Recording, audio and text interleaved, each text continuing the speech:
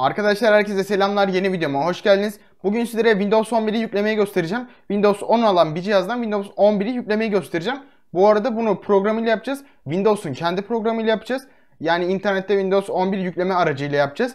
Ve dosyalarınız varsa korkmayın. Çünkü dosyalarınız gitmeden göstereceğim bunu. Yani Windows 10'da ne varsa birebir en küçük bir eksik olmadan Windows 11'e aktarılacak. Hiçbir korkunuz olmasın. Ben bunu yaptım. Şimdi ise başka bir bilgisayar üzerinden göstereceğim bunu sizlere yapmayı. Bu arada arkadaşlar bu videoyu çekeceğim diye başıma gelmeyen kalmadı resmen. Yani bayağı bir emek sarf ettim bu videoyu çekmek için. Normalde dün akşam çekecektim. Dün akşam da bir dakika hemen tarihe bakıyorum. Dün akşam 5'iymiş Mayıs'ın. Videoyu çekecektim arkadaşlar dün akşam. Fakat bilgisayarı ayarladım. Yani ben size bunu başka bir bilgisayar üzerinden göstereceğim. Windows 10 bir olan bir bilgisayar üzerinden göstereceğim. Çünkü ben kendim de yaptım. Bunu da arkadaşlar size laptoptan göstereceğim. Bu arada sponsor falan yok. Çok sponsora doğru kaydı video. Fakat öyle bir şey yok arkadaşlar. Neyse işte bilgisayarımı, setup'ımı kurdum. Normalde de ben çift ekran kullanıyorum. E, bu ana ekranımı laptopa bağladım. Diğer ekranımı ise arkadaşlar kendi ana bilgisayarıma bağladım. Bunları yaparken de kablo sok çıkar falan oldu. Sonra kameranın bağlantılarını başka şey yaptım falan filan. Şu anda ise kendi görüntümü kendi bilgisayarım üzerinden yani şu görüntüyü kendi bilgisayarım üzerinden ses ve bilgisayar kaydında arkadaşlar e, laptop üzerinden alacağım. Ayrıca arkadaşlar ben ışığımı yani sağ taraftaki ışığımı şuradaki ışığımı sizde sol sol olabilir. Ağırlıklarla sabitliyorum düşmesin diye. Ve onu yaparken de arkadaşlar ağırlığın bir tanesi bilgisayarın arkasından düştü. Sonrasında ise DisplayPort kablosuna geldi. Sonra DisplayPort kablosu yamuldu. Şu anda ise ara sıra görüntü gidiyor, ara sıra geliyor. Saçma sapan bir şey oldu. Çünkü kablo bildiğiniz gitti arkadaşlar. 1 kilo ağırlık kablonun üzerine düştü. Kablo böyle yamuk oldu. Sonrasında hadi bununla idare ederim falan filan dedim. Sonra 1-2 saniye sonra da sağımdaki ışık yani ben bunu size gösteririm.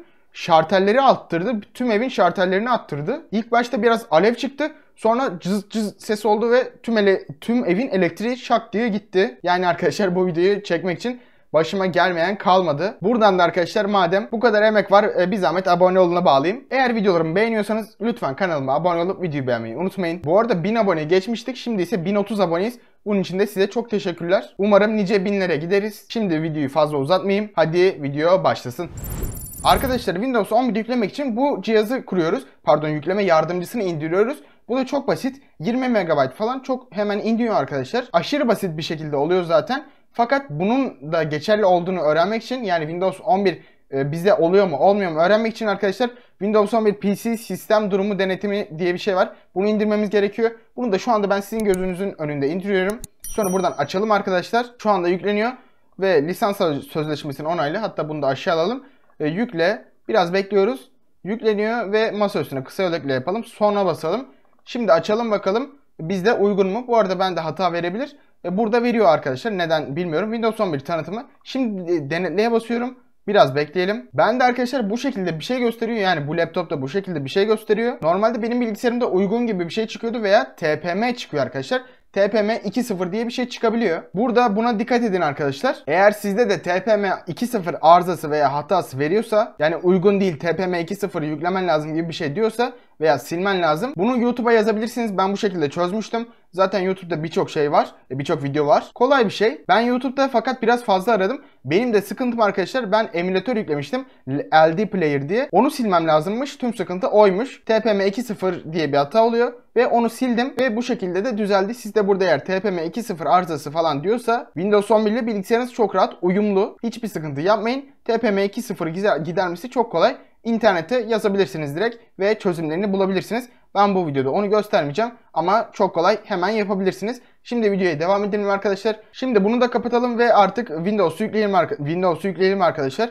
Şimdi download Windows 11 diyor. Bunu hemen indire basıyoruz. Bu arada bunların linkleri aşağıda mevcut. Gördüğünüz gibi hemen indi.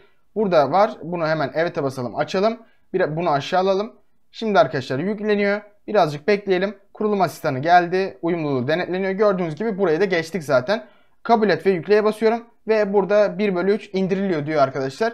Burada ben burayı hızlandıracağım. Fakat aşırı aşırı da fazla sürmüyor. İnternet hızına göre mi değişiyor? Sistem hızına göre mi? Bunu maalesef bilmiyorum. Ama büyük ihtimalle internet hızına göre değişiyordur. O yüzden mümkün olduğunca bilgisayarınızı internetin yanında tutmaya çalışın. Şu an burada bunu konuşuyorken bile benimkisi %4 oldu bile. Ben burayı hızlandıracağım. Sonrasında ise geleceğim.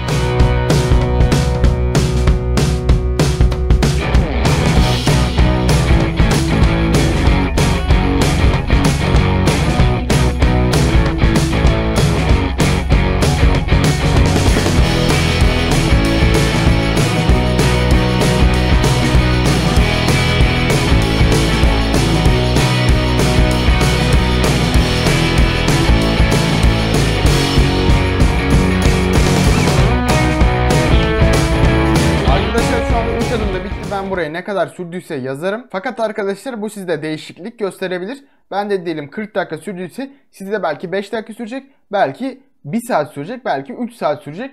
Bu sizde tamamen değişiklik gösterebilir. Dediğim gibi neye göre değişiklik gösterdiğini de bilmiyorum maalesef. Şimdi ise böyle bir yer var arkadaşlar.